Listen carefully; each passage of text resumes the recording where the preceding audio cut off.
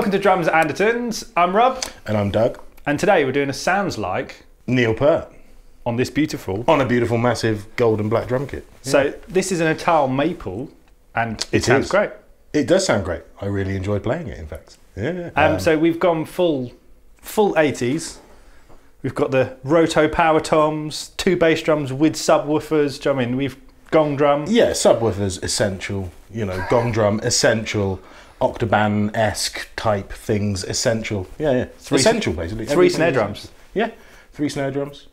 Uh, one, two, three, four, five, six, seven, eleven cymbals, twelve cymbals. and a mount. So Yeah. we have sort of taken a combination of lots of his setups. Obviously, he played for Rush for what, 30 something years? The whole time they existed. No. Yes. Oh, was it not? no, there was another drummer before. Oh, really? Yeah. Okay, I hold my hands up. I did not know that. Um, but he had big double bass drum rigs in the 80s. He's Yeah. had the full 360 kit with, all the electronics. So, and the MalletKAT thing and all the yeah yeah so we've sort of been inspired by multiple of his setups, and hopefully, just Doug has got some nice sound for you. yeah.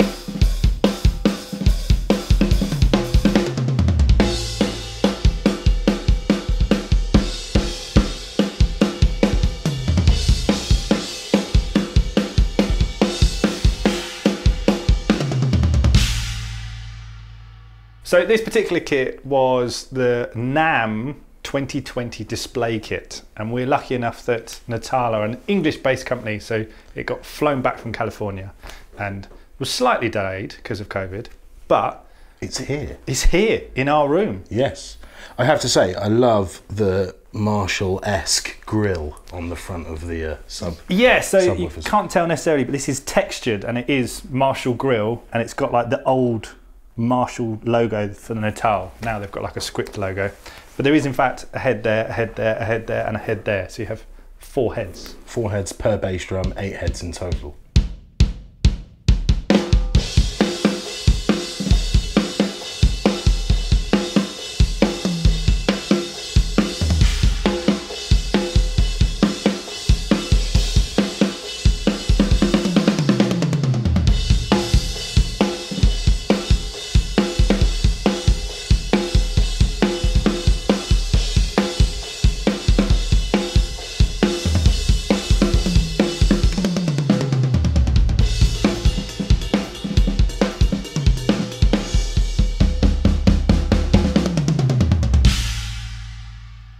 So it's inspired by Marshall colours, but it is a special order. You could order this setup if you didn't want to buy it from us. This setup is possible with the what have we got? Three up, two down, without even three snares, four Roto toms, two bass drums, Yeah, two sub again, kicks, essential. gong drum. Essential, and all the cymbals as well are available at Andertons right now. Yeah, so Yeah. what have we got? Various Sabians, but start off, we've got his signature Paragons, haven't we? So Yeah, we've got the hats. We've got a couple of the chinas. We've got one with the jingles in it, one of the Paragon chinas with jingles and rivets. yeah, and Um, you've actually done that to other chinas, haven't you, in your personal I have. collection? I've got a few that over the years have broken and I've had them repaired and had bits added to them. Um, and they sound great. Um, also, the thing that I loved most was this 22 inch crash, Paragon crash, but we used it as a ride and it Had- actually sounds like a ride. Had a nice well. spell on it, yeah. yeah, yeah. Um, and then, yeah, I think we've got some HHX and stuff over there. We sprinkled with splashes. Yeah, oh oh, and the bell, obviously. of course. the bell, essential. yeah, yeah. Um, And but then yeah, what, man, What have we got over here? An X-Treme, isn't it? Yeah, 16 X-Treme. beautiful. All, all Sabian. He's a Sabian artist for most of his career. I don't know. Early early days was Zildjian, but yeah, for the latter part of his career was all Sabian. So we just dressed this drum kit in some lovely Sabians to bash.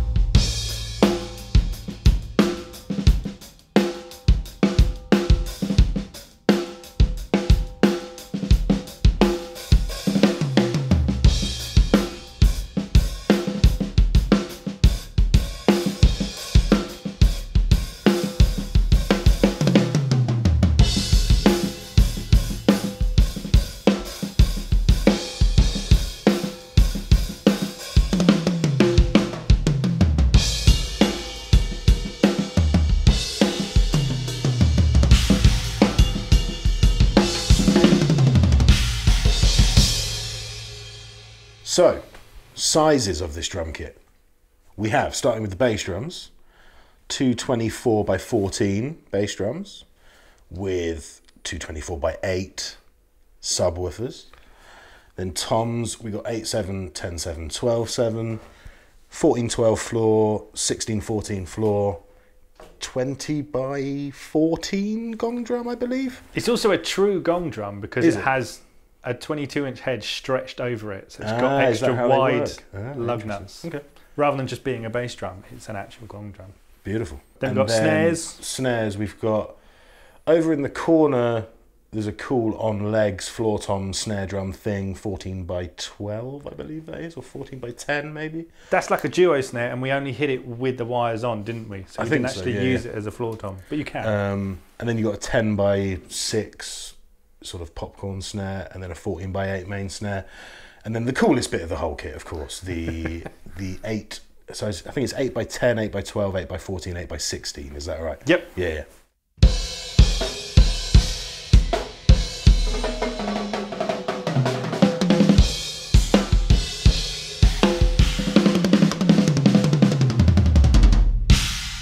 And what heads have we used on it? So heads on the main kit is all coated G2 Evans, Nice. and then we've got some EMADs. So on the two Oh, bass the drums, bass, Yeah. having two bass drums, especially with sub kicks, makes it a bit harder to tune. So there are two definite camps.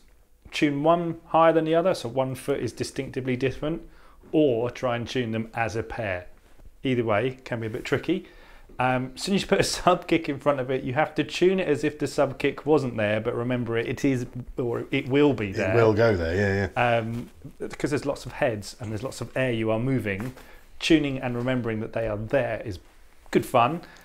Gong drum, they're also tricky to tune but if it's a proper gong drum, get a really thin head.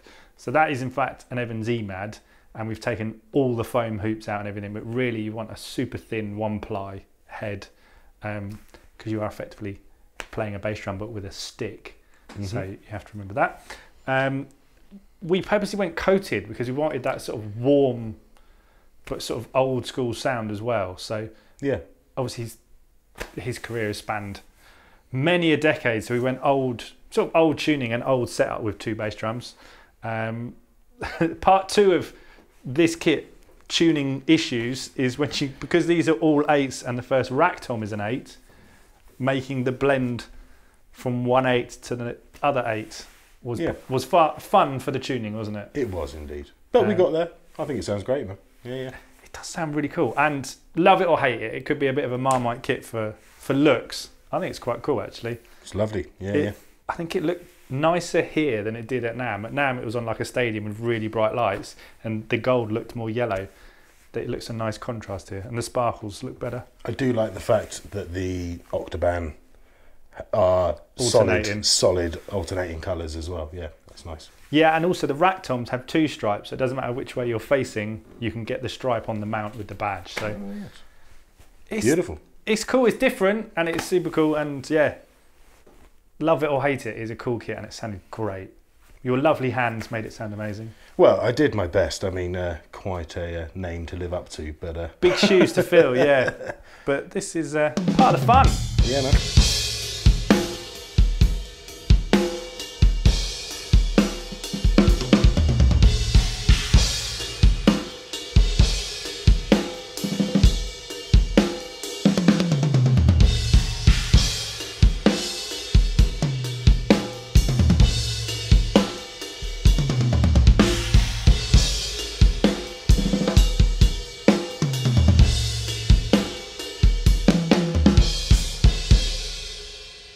I hope you like Doug's playing and our interpretation of Neil Peart on this lovely Natal kit. Beautiful. I did my best. Go easy on me. Go easy on me. Um, if you do like the sounds like, comment because we do read. This was one of the most asked for, so we do read the comments and we will slowly catch up with all the names that you recommend and ask for. Yeah. Um, Looking forward to the next time. yeah, we can't get much bigger in this room, so I think you basically asked for this kit just to see if we could get one big enough because Terry Bozzio keeps coming up as well. So Well, we could give it a go, but uh, yeah, I might need a bit more time to work on some of that. Thanks for watching, guys. I've been Doug. I've been Rob, and if you like these videos, like, subscribe, comment,